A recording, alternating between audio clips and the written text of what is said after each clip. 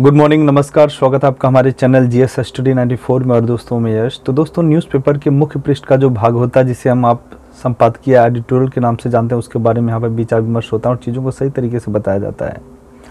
तो जो आज का विषय है दोस्तों, वो है भारतीय कुश्ती के ऊपर जिस प्रकार से आरोप लग रहे हैं, चाहे ओलंपिक के खिलाड़ी हों, चाहे अन्य अंतर्राष्ट्रीय गेम के खिलाड़ी हो, जिस प्रकार से ब्रिजभूषण शरण सिंह पर आरोप लगा रहे हैं। बहुत ही संवेदनशील है।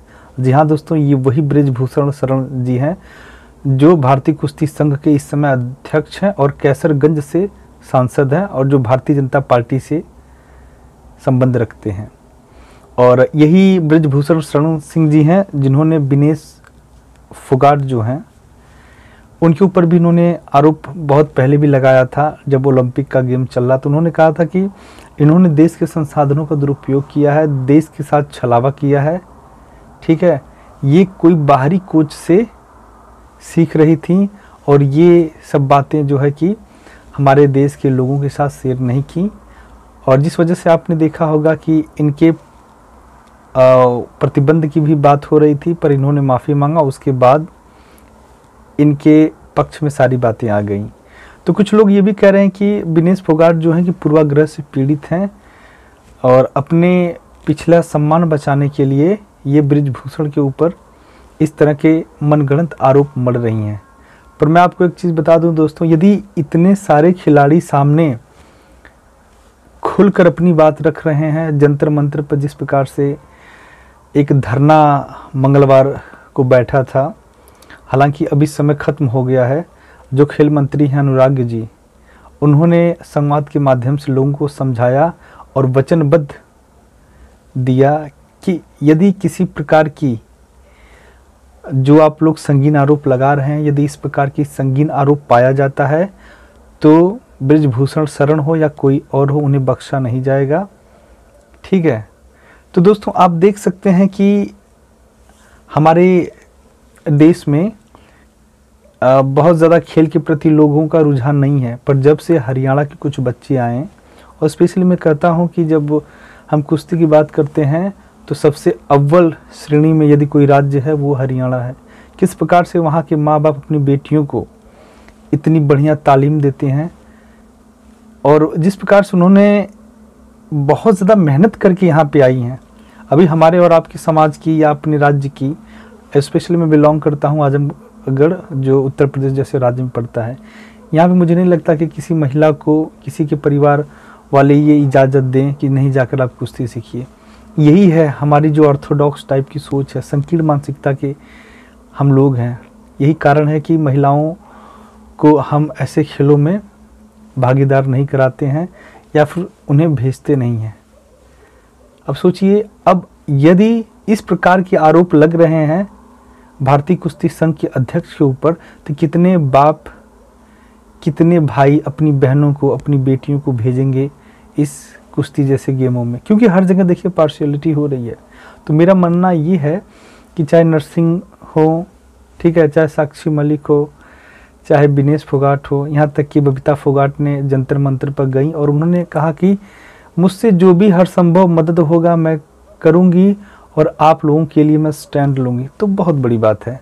तो कहने का मतलब ये है कि आवश्यकता है कि इसमें बड़े स्तर पर जाँच हो और इस प्रकार की यदि किसी की भी संलिप्तता पाई जाती है तो आजीवन उसको ऐसी ऐसी कठोरतम सजा देनी चाहिए कि उसे जीवन भर याद रहे।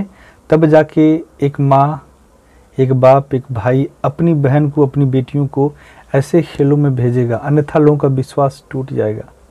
उन्होंने कहा विनेश फोगाट ने कहा कि जिस प्रकार से यौन शोषण हुआ है, ये बहुत गलत है। और यदि आपको प्रूफ चाहिए तो कुछ महिलाएँ खुलकर सामने आ सकती हैं जो कि महिला खिलाड़ी हैं, अन्य राज्यों की है। हालाँकि मेरे साथ ये यौन शोषण नहीं हुआ है, पर उन लोगों के साथ हुआ है। सोचिए, हमारी सरकारें, चाहे राज्य सरकार हो चाहे केंद्र सरकार हो, जिस प्रकार से महिलाओं को प्रमोट कर रही है, खेल के प्रति, और कुछ ऐसे चुनिंदा लोग हैं जो इन बेटियों की ज़िंदगी खराब करने पर तुले हुए हैं। उनका यह भी आरोप है, यदि कोई अस्वीकार कर दे उनके इस प्रपोजल को तो किस प्रकार से वो महिला खिलाड़ी का जीवन भी बर्बाद कर देते हैं? इसलिए कुछ महिलाएँ पूरी तरह से यौन शोषण का शिकार हो चुकी हैं और अभी भी वो उनके साथ इसी प्रकार का बर्ताव किया जा रहा है। जो महिलाएँ इसका विरोध कर देती हैं, उनको आजीवन खेल से बाहर कर दिया जाता है। हर जगह फिट होने के बाद भी जो महिलाएँ अंतर्राष्ट्रीय खेलों में अव्वल दर्जे का प्रदर्शन करती हैं, वो हमारे यहाँ हमारे यहाँ भारत में किस प्रकार से छट जाती हैं, उसका यही कारण है। कई दिनों से महिलाएँ बाहर बैठ, बैठी रहती हैं इस भीट में। कि मुझे पहले बताया जाए कि मुझे इस गेम से बाहर क्यों किया गया, पर कोई भी स्पष्टीकरण या कोई लिखित जवाब नहीं दिया जाता। क्योंकि क्या लिखित जवाब देंगे? क्योंकि उनकी तो सोची समझी रणनीति है। तो ऐसे विषयों के लिए भी आपको स्टैंड लेना पड़ेगा। कोई ज़रूरी नहीं है कि नहीं, किसी नेता को जिताना है, तभी नहीं, किसी बाबा को जिताना, तभी। आज हमारे देश में हरियाणा जैसा राज्य जिस प्रकार से निखर कर आया है। अन्य राज्यों के लिए प्रेरणा का स्रोत बना वहाँ की बेटियों ने जिस प्रकार से महिलाओं के अंदर एक क्रांति ला डाली, एक ज्वाला भर दी तो उसके लिए हमें प्रतिबद्ध होना चाहिए, उनका शुक्रिया अदा करना चाहिए।